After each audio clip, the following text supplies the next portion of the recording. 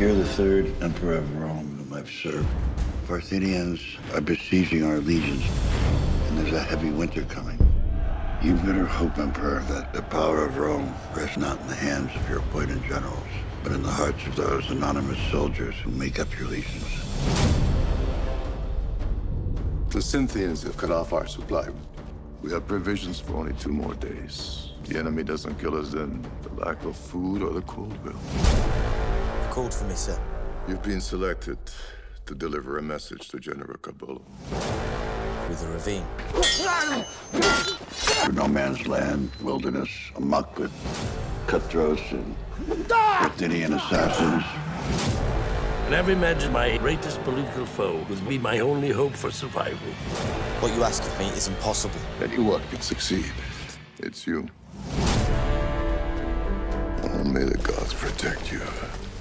Go out from here and run as if Hades himself will pursue.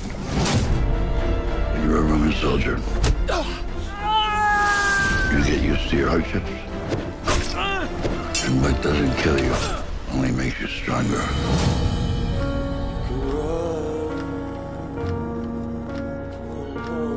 He's making his way to Corbulo. That route is impossible.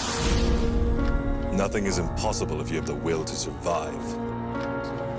His men are starving. His mercenaries are deserting.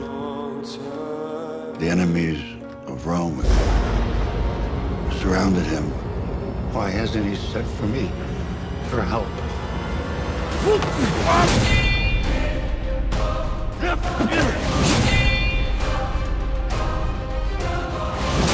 They're all already dead, Marcus.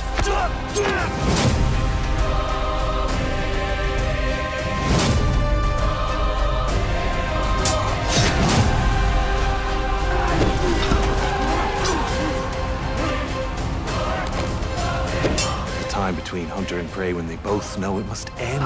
Troops must be ready to march at dawn. Show me, Roman! Here! Ah!